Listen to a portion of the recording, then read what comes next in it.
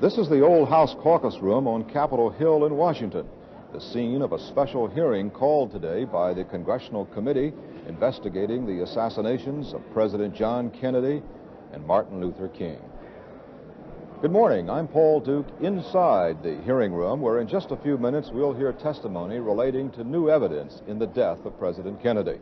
The evidence is based on a new scientific report that claims four shots were fired at the Kennedy motorcade in Dallas that fateful day in November 1963. Not three shots, as experts have repeatedly said during the past 15 years. This report raises again the possibility of a conspiracy in the killing of President Kennedy and the possibility that Lee Harvey Oswald did not act alone, that in fact another gunman took part in the assassination, shooting from a grassy knoll near the motorcade as it proceeded through Dealey Plaza in downtown Dallas. The Warren Commission, which conducted the government's original investigation into the slaying more than a decade ago, concluded that three shots were fired all from the sixth floor of the Texas School Depository Building in Dallas. So, what we have now is a new conflict, and that's what today's hearing before the House Assassination Committee is all about. The committee was all set to wind up its work when these new findings became known about 10 days ago, which is why we have a group of acoustical experts back to testify today. Among those who will be appearing as witnesses today will be the men who have come up with this new evidence Mark Weiss and Ernest Aschkenasy, both from Queens College in New York City. Another man who made an earlier study, Dr. James Barger from Cambridge, Massachusetts, also will take the witness chair today to discuss the new findings. Now, since Jerry, on the committee itself, is there skepticism about this new evidence? Yes, indeed there is, and I myself am skeptical of it, and that's why I'm here today to see if something convincing is, is brought forth. Uh, I don't think the committee has made its mind up, but it, there is indeed skepticism, and part of that is induced by the fact that the, there's a quantum leap from deducing or proving four shots, one of which, shot number three, came from the grassy knoll, if that indeed occurred, to uh, adduce that this prima facie, as Carl says, indicates a conspiracy because it going from A to C, it skips point B. And that is the possibility that some federal officials have, have raised that if there were four shots, uh, and they came from two different directions. There is no proof of any kind that I'm aware of that uh, that the two putative gunmen knew one another or in fact conspired. We'd like to say that we'd like to say that at the very beginning of this morning's hearing there will be a rather long statement by the committee's chief counsel, Robert Blakey, its chief investigator as well and he will give the background uh, to the proceeding. Uh, Chairman Carl Stokes uh, is in his chair, and we expect the proceedings to begin now momentarily. The Assassinations Committee has uh, seven Democrats among its members and three Republicans. We will also see later today at some point the famed film by Abraham Zapruder, of the actual shooting in Dealey Plaza, and it will be accompanied by a simulation of the shooting, the sounds of the shooting, reenacted in Dallas by certain members of the Assassinations Committee's staff. That, Paul, that might be the most dramatic moment of the day because uh, an investigative officer has told me that when this this soundtrack uh, of the test is superimposed on the Zapruder film, uh, he said uh, it, it'll, it'll boggle your mind that the reactions to the four sounds that the new evidence has uh, produced uh, overlaps certain movements in the presidential car. Yes, you can apparently uh, see the movements of, of Mrs. Kennedy and, and the president at that time. and. Governor Connally. And we'd just like to tell our audience that, that this obviously is a, is a terribly tragic and, and, uh, and sensitive moment, and they might be aware of that. Now the committee hearing begins.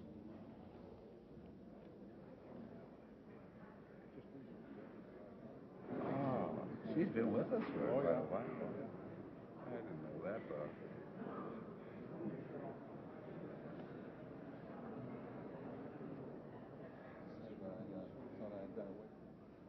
I'll keep on doing that, okay? Tell him to speak to Glenda.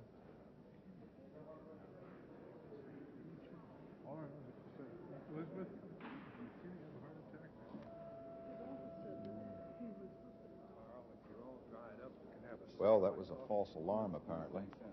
And uh, as is so frequently the case with congressional committees, they uh, do not begin on time. And uh, this panel clearly is no exception. The chairman of the committee, as we've noted, is Louis Stokes, Democrat from Ohio. Sitting next to him on his uh, left is Richardson Preyer of North Carolina. The discovery of three spent cartridge cases on the sixth floor of the book depository was considered, quote, convincing, close quote, proof of only three shots. The Commission also concluded that its extensive investigation, quote, disclosed no credible evidence that any shots were fired from anywhere else, close quote. The work of this committee on the number, timing, and direction of the shots has been based almost entirely on scientific evidence. The committee has had available to it a motion picture record of the assassination made by Abraham Zapruder, forensic medical evidence and testimony, ballistics and neutron activation analysis, a trajectory reconstruction, and, most significantly, an analysis of a recording of sound transmissions from a police motorcycle radio. The hearing today, Mr. Chairman, will be concerned, for the most part, with the scientific evidence and its implications. Particular attention will be paid to results of a new analysis of the data previously developed in the committee's acoustics project. It was conducted by independent consultants whose findings were recently submitted to the committee. But before turning, but before turning to the acoustics analysis, it may be useful, by way of an introduction, to review some of the testimony that witnesses gave or which was available to the Warren Commission in 1964. For that purpose, I request that JFK Exhibit F-361 be entered into the record again and appropriately displayed. Without objection, be entered into the record again and prayed, displayed appropriately at this time. Mr. Chairman, this is an aerial view of Dealey Plaza, the scene of the assassination. I would direct the committee's attention to the route of the presidential motorcade along Elm Street. The Texas School Book Depository to the rear of the president's limousine at the time of the shooting. The grassy knoll, a park-like area that was to the right of the president's car. As the Warren Commission itself candidly acknowledged, testimony on the number of shots varied. While the consensus seemed to be three, some witnesses heard only two, and others said they heard four or as many as five or six. Witnesses on the scene also gave varying accounts of the time span of the shots. Most agreed that they were all fired within a few seconds. The general estimate was five to six seconds.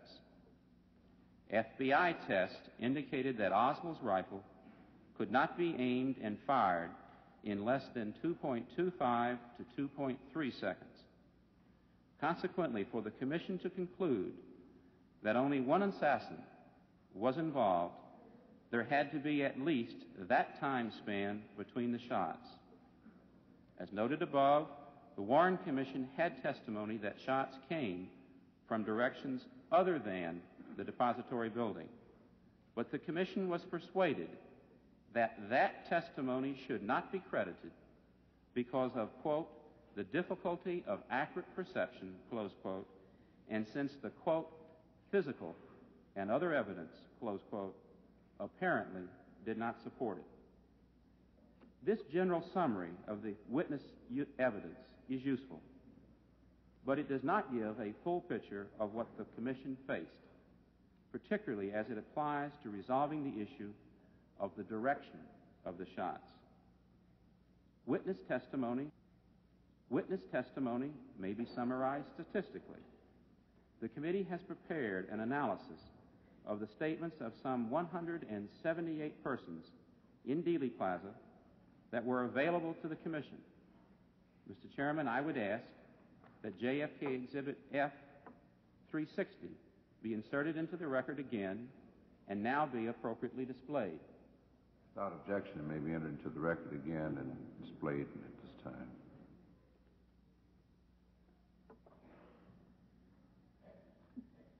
The committee's analysis of this testimony shows that out of a majority who could establish a direction, 49 of them, or 27.5%, thought the shots had come from the book depository, but 21 others, or 11%, believed that they had come from the grassy knoll. 30 of them, 16.9%, thought they had originated elsewhere, and 78, or 43.8%, were unable to tell. The actual statements of certain witnesses who felt shots may have come from somewhere in addition to the depository may, however, be more illuminating than statistics, especially in the case of law enforcement personnel whose training could be expected to improve the quality of their judgment. A Dallas police officer, a Dallas police officer, Bobby W. Hargis, was, for example, riding a motorcycle to the left and slightly to the rear of the president's limousine. He was questioned by Samuel A. Stern, a Warren Commission counsel.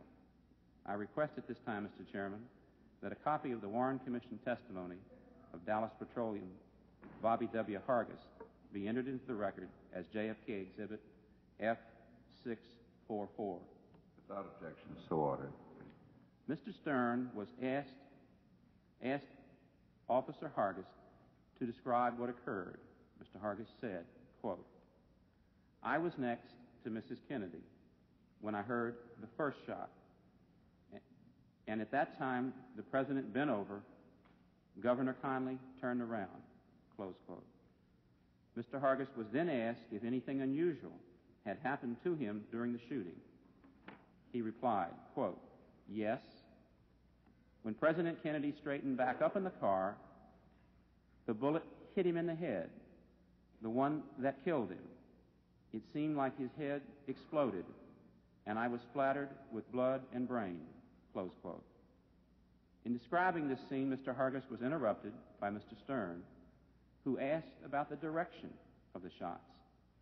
Mr. Hargis replied, quote, Well, at the time it sounded like the shots were right next to me. There wasn't any way in the world I could tell where they were coming from.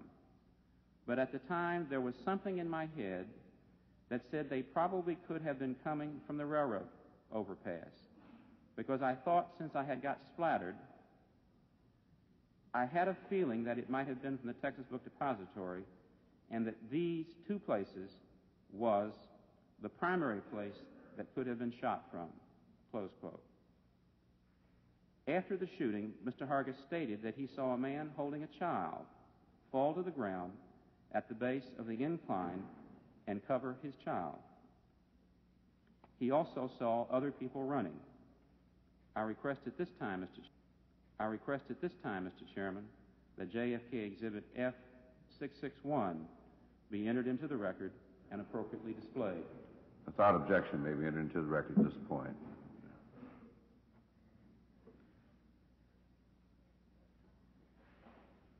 It is a photograph, apparently, of what Mr. Hargis saw. Mr. Hargis himself stopped his motorcycle and ran up the incline. The man Officer Hargis saw lying on the ground was probably William Eugene Newman. I would at this time, Mr. Chairman, request that a copy of Mr. Newman's statement to the Dallas County Sheriff's Department be entered into the record as JFK Exhibit F645. Without objection, may be entered into the record at this point. The Newmans were observing the motorcade from the curb near the west end of the concrete standard on Elm Street. Mr. Newman gave this description of their actions after hearing the shots.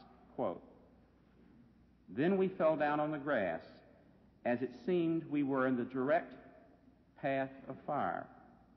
I thought the shot had come from the garden directly behind me. That was on an elevation from where I was as I was right on the curb. I do not recall looking back towards the Texas School Book Depository. I looked back in the vicinity of the garden. Close quote. Abraham, Z- Abraham Zapruder was standing with his 16 millimeter motion picture camera on a concrete abutment on the grassy knoll just beyond the Stemmons Freeway sign. Here I would request, Mr. Chairman, that JFK Exhibit F155 be entered into the record again and appropriately displayed. Without objection, may into the record again at this point. It shows Mr. Brazu- Zapruder as he is taking his motion picture. Did you have any impression as to the direction from which these shots came? Mr. Zapruder. No. I also thought it came from back of me. Of course, you can't tell when something is in line. It could have come from anywhere. Mr. Liebeler tried to focus Mr. Zapruder's memory of the event. Mr. Liebeler. But you didn't form any opinion at that time as to what direction the shots did come from, actually? Mr. Zapruder. No. Mr. Liebeler. And you indicated that they could have come also from behind or from any other direction except perhaps from the left because they could have been from behind or even the front. Mr. Zapruder then agreed that any direction was possible and that he had no way of determining the bullet's course. He did, however, distinguish between the shots. Mr. Liebeler, did you form any opinion about the direction from which the shots came by the sound? Or were you just upset by the thing you had just seen? Mr. Zapruder. No, there was too much reverberation. There was an echo which gave me sound all over. Yes, the reverberation was such that a sound, as, as it would vibrate, it didn't vibrate so much, but as to whether it was a backfire. In other words, I didn't think from the first sound, from him leaning over, I couldn't think it was a shot. But of course, the second, I think it was the second shot. Secret Service, Secret Service agent Paul E. Landis, Jr., wrote a statement on the shooting dated November the 30th, 1963. Mr. Chairman, I would like at this point to have that document entered into the record as JFK Exhibit F647. Without objection, it may be entered into the record. Mr. Landis was in the follow up car behind the presidential limousine on the outside running board on the right. He may be seen in JFK Exhibit F155.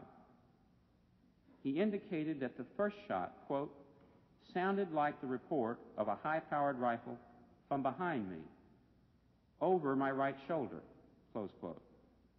According to his statement, the second shot might have come from a different direction. He said, quote, I still was not certain from which direction the second shot came, but my reaction at this time was that the shot came from somewhere toward the front, right handed side of the road, close quote. Another witness, Another witness, S.M. Holland, also saw signs of a shot coming from a group of trees on the knoll. Mr. Chairman, I would like to enter in the record at this point Mr. Holland's testimony before the Warren Commission as JFK Exhibit F648. Without objection, may be entered into the record. Mr. Holland was standing on top of the overpass above Elm Street, looking down Elm Street. Mr. Holland indicated that he heard four shots. After the first, he said he saw Governor Connally turn around. Then there was another report. The first two sounded like they came from, quote, the upper part of the street, close quote. The third was not as loud as the others.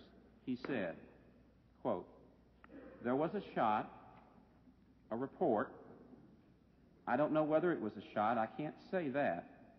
And a puff of smoke came out about six or eight feet above the ground, right out from under those trees.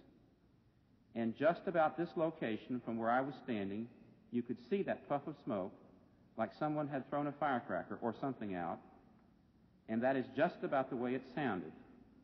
It wasn't as loud as the previous reports or shots. When Commission Counsel Stern asked Mr. Holland if he had any doubts about the four shots, he said, quote, I have no doubt about it. I have no doubt about seeing that puff of smoke come out from those trees either. Close quote. Later in his testimony, Mr. Holland commented on the activity after the shooting. He said, quote, Now do you want to know about the two policemen that were riding in that motorcade, and one of them throwed the mi- motorcycle down right in the middle of the street and run up toward that location with his gun in his hand. Mr. Stern, toward Mr. Holland, the location that, Mr. Stern, where you saw the puff of smoke, Mr. Holland, where I saw the puff of smoke. And another one tried to ride up the hill on his motorcycle and got about halfway up there, and then he run up the rest of the way on foot. In addition to testimony, in addition to testimony relating to the direction of the shots, several witnesses also reported seeing bullets strike at various points in the plaza. For example, two witnesses said they saw bullets hit the pavement on Elm Street. Mr. Chairman, I would like to have entered in the record at this point JFK Exhibit F649. Without objection, may be entered into the record. It's a statement of Mr. Royce Skelton made to the Sheriff's Department on November the 22nd, 1963. Mr. Skelton related, quote, I was standing on top of the train trestle where it crosses Elm Street with Austin Miller. I heard something that I thought was fireworks. I saw something hit the pavement at the rear of the car, and then the car got in the right hand lane, and I heard two more shots. I then heard another shot and saw the bullet hit the pavement. The concrete was knocked to the south, away from the car. It hit the pavement in the left or middle lane, close quote. Mr. Skelton also testified before the Warren Commission. Mr. Chairman, I would like to enter into the record that testimony as JFK Exhibit F650. Without objection, it may be entered into the record. On that occasion, Mr. Skelton said he saw smoke rise from the pavement where the bullet hit and that he thought the gunfire had come from the area of the presidential limousine. Quote, I saw a bullet, or I guess it was a bullet, I take it for granted it was, hit in the left front of the president's car on the cement. And then it did, the smoke carried with it away from the building. Later he said the smoke, quote, would be southwest, you know, and a direct line from the Texas Depository, close quote. Another witness, another witness to see a bullet was Miss Virgie Baker. Mr. Chairman, it would be appropriate at this point to enter into the record JFK Exhibit F651, Mrs. Baker's statement to the FBI dated November the 24th, 1963. Without objection, may be entered into the record this Miss point. Baker was standing across the street from the Texas School Book Depository when she said she heard the shots. She thought they came from the direction of the triple overpass. When she looked that way, she saw what she presumed to be a bullet bouncing off the pavement. Mr. Chairman, I would also like to enter into the record at this point JFK Exhibit F652, Ms. Baker's testimony before the Warren Commission. Without objection, so ordered. Commission Counsel Wesley Liebeler asked her where the noise she heard came from. Miss Baker thought it was close to the underpass. Mr. Liebeler then continued with respect to the bullets. Quote, Mr. Liebeler, how close to the curb on Elm Street was this thing you saw hit? Do you remember? It would have been on the curbside, near the curbside away from the Texas School Book Depository building on the opposite side of the street. Is that right? Miss Baker, yes. Mr. Liebeler, how close to the opposite curb do you think it was? Miss Baker, it was approximately in the middle of the lane.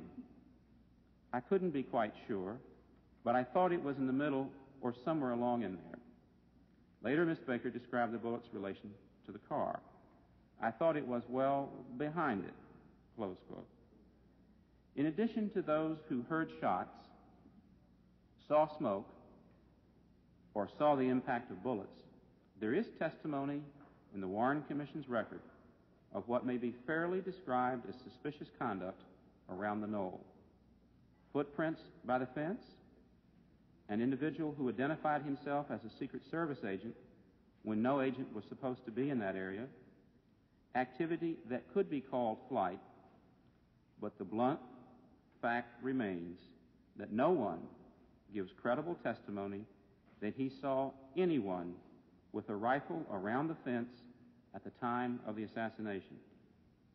In the absence of such testimony or hard evidence that would corroborate or independently substantiate the ear and eyewitness testimony pointing towards the knoll shot, the Commission concluded the shots came from only one place, the Texas School Book Depository, where Lee Harvey Oswald, the alleged assassin, worked. In September, in September 1977, the committee learned of the possibility of obtaining what the Commission lacked an acoustics analysis of a sound recording of what happened in Dealey Plaza. There was in existence a Dallas police tape that had recorded the sounds of the assassination from the transmitter of a motorcycle policeman whose microphone switch was in the on position. The committee hoped it might obtain evidence not considered by the Commission. The committee searched for the best people in the acoustics field. After careful consideration, it contracted with the firm of Bolt, Beranek, and Newman of Cambridge, Massachusetts for an analysis of the tape. Early testing by the firm was uneventful, since all that had been available, available to the committee was a copy of the original tape on which no audio sounds could be discerned. But with the help of a retired assistant chief of the Dallas Police Department, the committee eventually obtained the original of the November 22, 1963 dispatch tape, along with the dictabelts that had originally recorded the transmission. The analysis of the dispatch tape was conducted by James E. Barger, Chief Science at BBN. After preliminary filtering, Dr. Barger was able to locate several segments of the tape that contained impulses that might have been caused by gunfire. The impulses were then put through six screening tests as follows. One, did the impulse patterns occur at the approximate time of the assassination? Two, were the impulse patterns unique and not repeated elsewhere in the tape? Three, did the intervals between the impulses approximate the timing of the shots as indicated on the Zapruder film? Four, did the shape of the impulses resemble the shape of recorded impulses produced by test of comparable gunfire through comparable transmission systems? Five, was the amplitude of the impulses similar to that recorded in test of comparable gunfire through comparable transmission systems? And six, did the number of the impulses in the expected echo pattern of Dealey Plaza approximately correspond to what was recorded on the tape?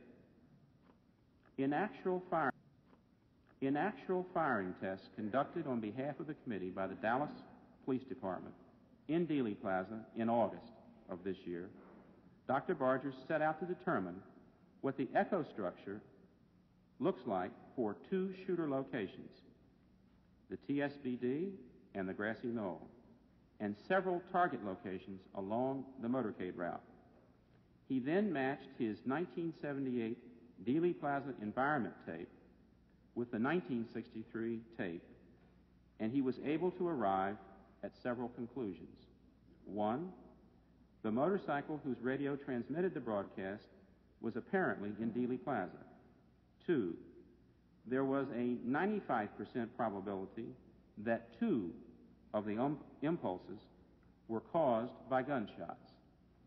Three, there was a 60 to 70% probability that there were three shots. And finally, four, there were indications of a fourth shot from the grassy knoll. But at the time he was able to testify in public hearings for the committee in September 1978, Dr. Barger was only willing to call it a 50-50 probability. The committee then asked the committee then asked two independent experts who had been recommended to it by the Acoustical Society of America to review the work of Dr. Barger and determine if they might be able to refine it. Professor Mark Weiss and his colleague, Mr. Ernest Aschkenasy, agreed to try to refine Dr. Barger's work.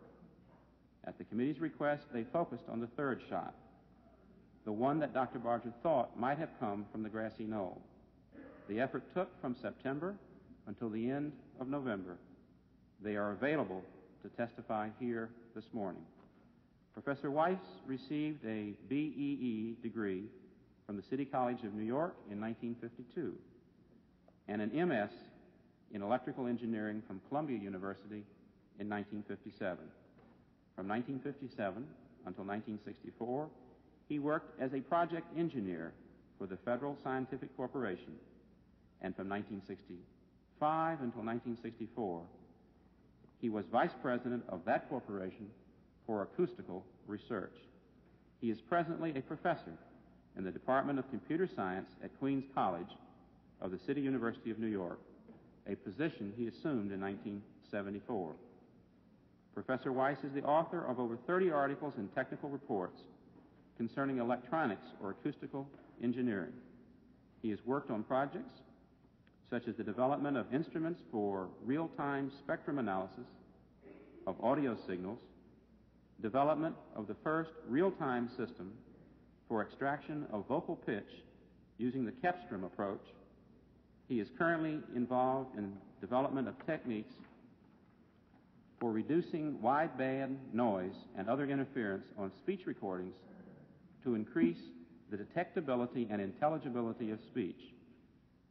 From November 1973 until June 1974, Professor Weiss was a member of a panel of technical experts appointed by Chief Judge John J. Sirica to examine the White House tape recordings in connection with the Watergate grand jury investigation.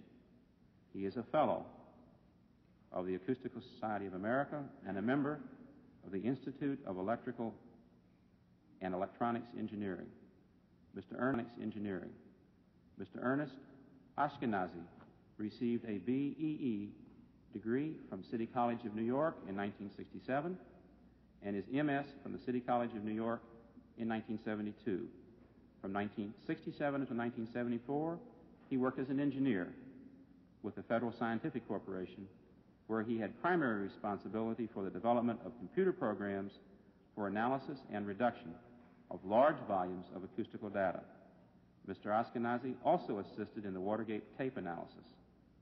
In 1974, Mr. Aschkenasy began his present work as a research associate for the Department of Computer Science at Queens College of the City University of New York, where he is presently acting as Professor Mark Weiss Associate.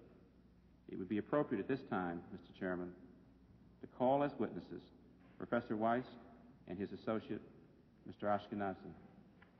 Committee calls Professors Weiss and Aschkenasy.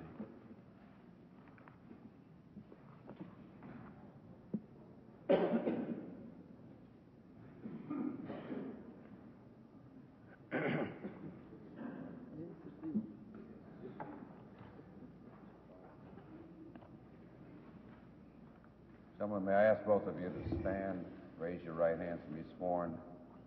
solemnly swear the testimony you give before this committee is the truth, the whole truth, and nothing but the truth to help you God. Thank you. You may be seated. Chair recognizes Deputy